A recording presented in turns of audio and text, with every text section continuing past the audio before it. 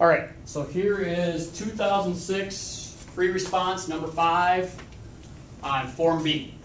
And it says, consider the differential equation dy dx equals y minus 1 quantity squared times cosine pi x. And it says on the axis provided, so we'll do it right on this page. It says, sketch the slope field. Well, first thing that's pretty easy is when I look at this, I say, hey, if y is 1, Then they're all horizontal. then they're all zero. So tho- those are the easy three, okay?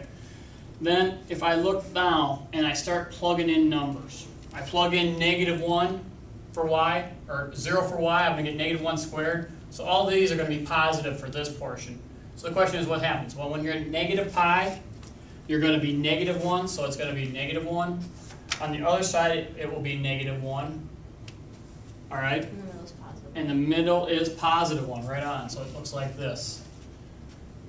And then they actually get steeper because the x values don't change, but when you drop down, you're gonna get negative one, 1 is negative two. Negative two squared is positive four, so all these are gonna be multiplied by four, so they should- just be very steep. Um, I think that negative one is zero. At least that's what I got. Nope, you made a math mistake. Zero, negative one. Nope, that's, that's, the that would be the slope field for this one. And I'm sure the AP won't score it later, but listen, I'm sure the AP is gonna score the zeros and the non-zeros separate. Uh, pretty sure. Okay, so letter B, there is a horizontal line with y equals c that satisfies the differential equation. Find the value of c. There's a horizontal line with the equation y equals c that satisfies this differential equation. So they want you to find c. Okay,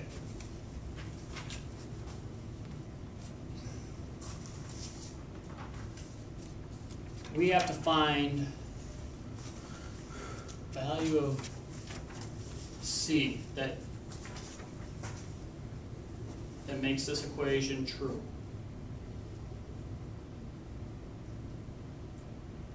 Should just be one.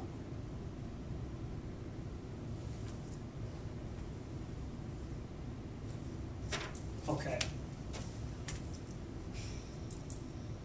There's a horizontal line with the equation y equals c that satisfies this differential equation. You have to find it. Find the value of c. Would it just be y equals one? It'd just be y equals one, yeah. I mean, Is that the answer? yeah, that's the answer. It is. It's just y equals one. Because it's going to, you know, How do you get points for that? Just one point? you just one point. It's gonna be the answer. It Has to be the answer. That is the answer. And that's that's all I wrote. That's all I wrote. The line, it's, here's what it says here now, look. The y, y equals one satisfies the differential equation, so c equals one. So y equals one, so y equals one, thus c equals one. Alright? That satisfies this differential equation, because think about it. You plug in one, one minus one is zero. That's always zero. Like you said, these are all zero, it's that easy. I just was, I was a little stuck for a second there. I was like, how can this be? But that always works, all right? That always zeroes it out. Okay, so letter C. We're doing five, quick if you wanna jump in. All right, find the particular solution, y equals f of x, the differential equation for the initial condition, f of one equals zero.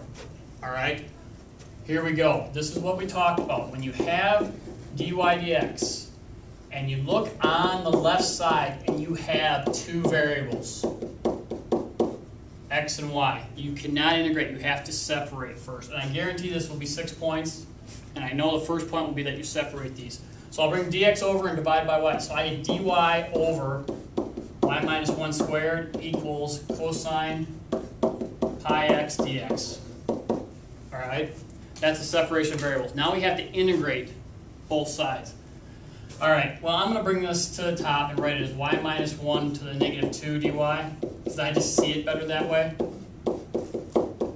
And then I'll do the integration. So now I'll integrate. Add 1. And since the inside is order 1, I don't have to worry about, you know, the chain rule, because this derivative of y will be 1. So I get this equals, now, the derivative of sine as cosine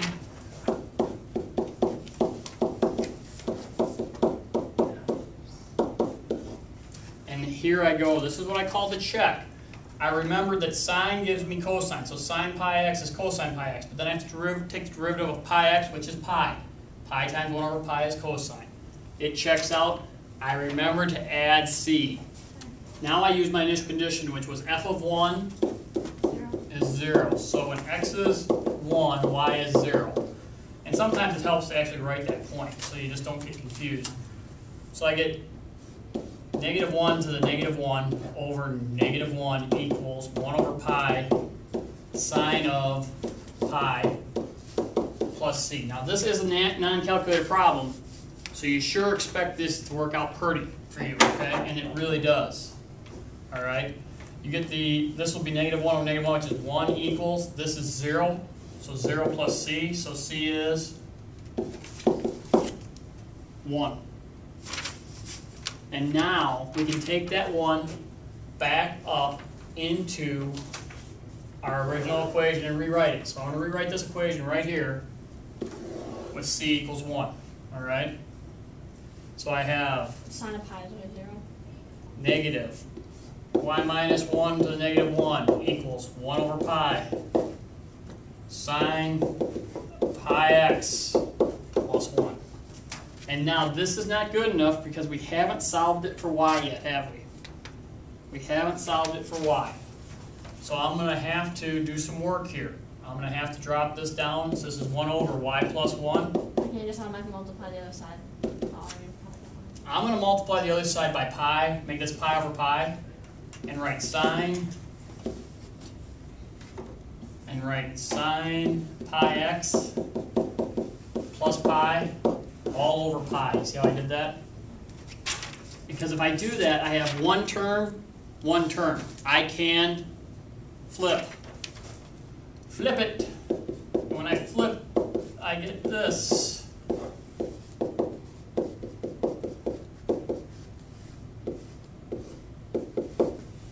And again, I, so- I want to solve for y, so You You could cross multiply, yeah, but you're going to end up with a gigantic term. I'm just going to do it this way. I'm going to bring the negative over, make it positive. I got to subtract 1.